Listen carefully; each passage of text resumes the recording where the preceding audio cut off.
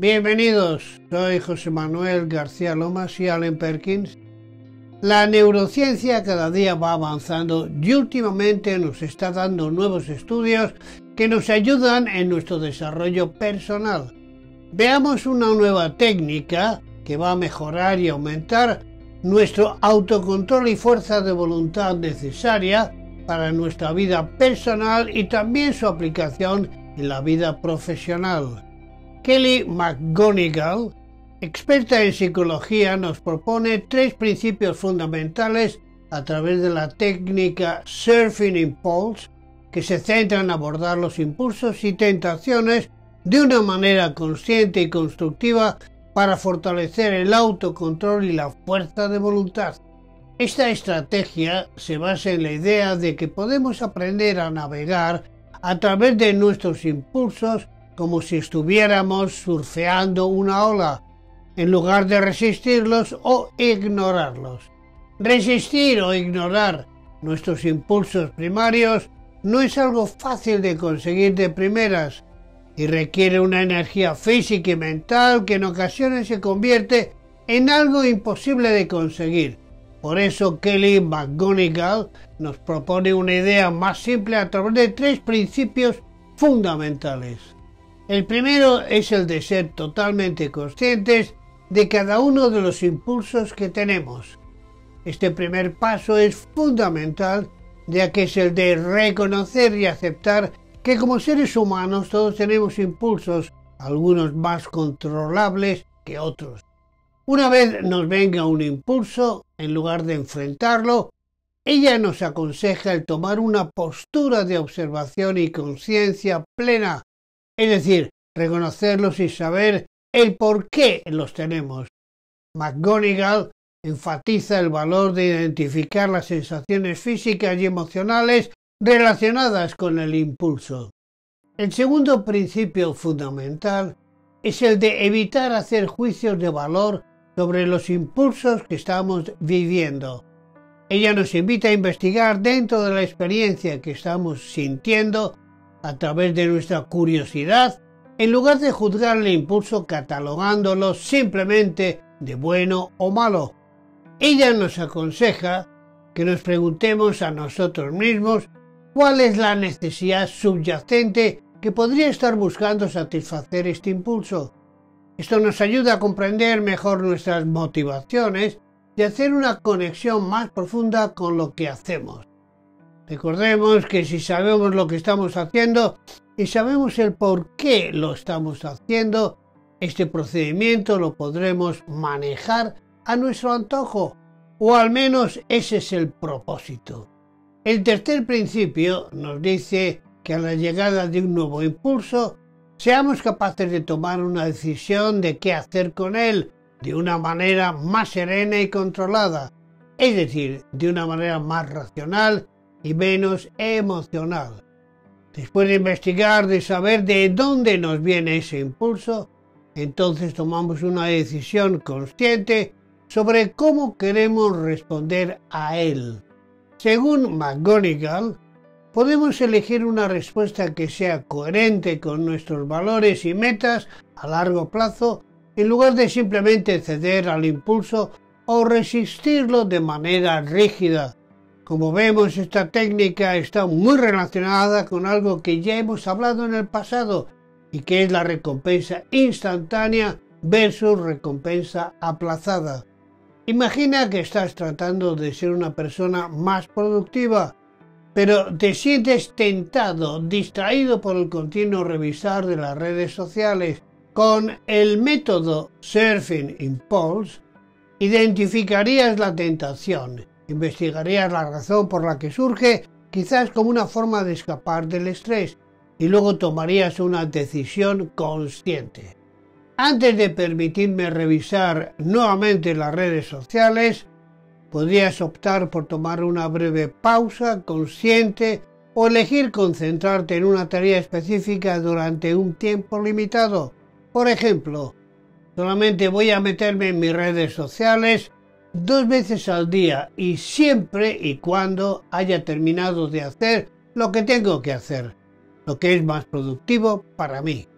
La filósofa estadounidense Martha Nussbaum nos dice algo así. La sabiduría implica la habilidad de tomar decisiones conscientes basadas en una comprensión profunda de nuestras emociones y motivaciones. Los estudios que se han realizado sobre esta técnica Surfing Impulse nos animan a no evitar totalmente nuestros impulsos, sino que podemos surfearlos, manejarlos de manera consciente, ya que esto no solo fortalecerá tu autocontrol y fuerza de voluntad, sino que también te permitirá desarrollar una mayor comprensión de ti mismo, de ti misma, fomentando un crecimiento personal significativo. Veamos ahora cómo implementar esta técnica en nuestra vida laboral. La técnica Surfing Impulse tiene aplicaciones útiles en el entorno laboral, ya que ayuda al crecimiento profesional, a la toma de decisiones efectivas y sobre todo a la gestión del tiempo, que es ni más ni menos el cómo lidiar con la procrastinación en el trabajo. Considera el escenario en donde en tu jornada laboral te llega el impulso de hacer algo distinto a lo que en verdad deberías de hacer o estar haciendo.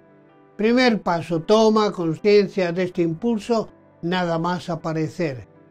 Imagina que tienes una tarea difícil en el trabajo y te sientes tentado a posponerla recurriendo a distracciones que con frecuencia encontramos fácilmente. Recordar aquella antigua frase que dice, esta persona se distrae con el vuelo de una mosca. En lugar de ignorar este impulso, usa la técnica Surfing Impulse al reconocer la procrastinación. Esto conlleva el que a partir de ahora no nos podemos engañar a nosotros mismos cuando esto suceda. Segundo paso, detección y exploración objetiva sin hacer juicios de valor sobre nuestra conducta. Intenta descubrir el por qué surge este impulso de procrastinar. Tal vez esto te surja porque esa tarea en cuestión te crea ansiedad o tal vez simplemente porque necesites un breve espacio de tiempo para descansar y recargar tus energías antes de ponerte a ella. Cuidado, no caigas en la trampa y ponte a ello cuanto antes.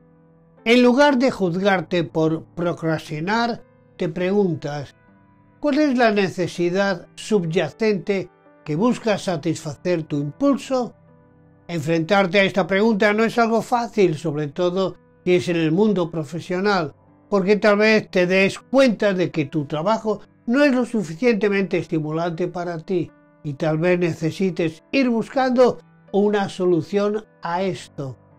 Si eres un estudiante, constantemente te harás la pregunta de ¿pero esto que estoy estudiando de qué manera me va a ser útil para mí en el futuro en mi vida laboral?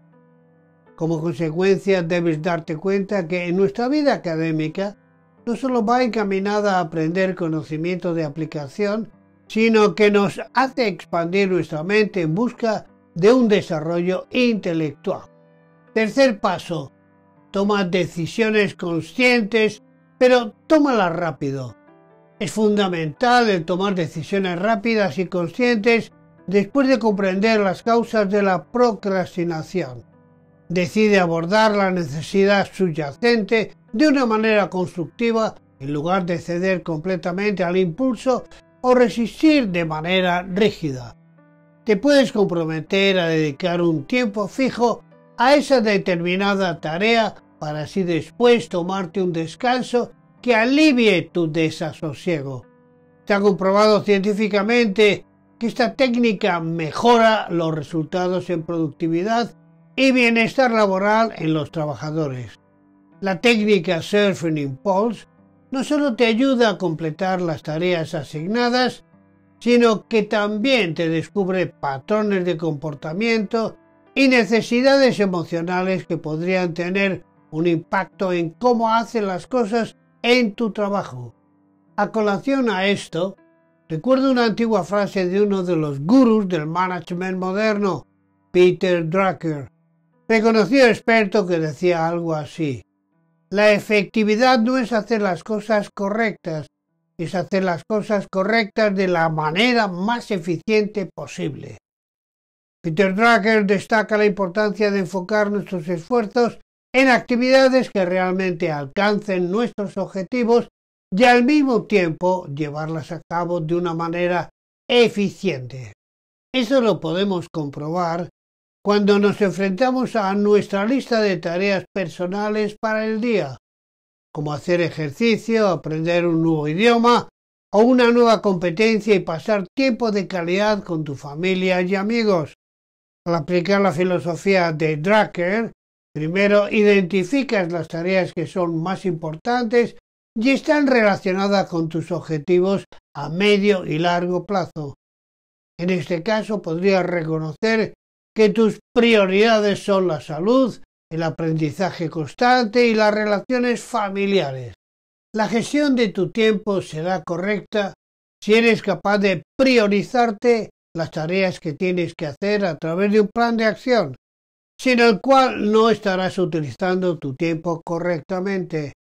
Luego, asegúrate de realizar estas tareas principales de manera eficiente para ser efectivo.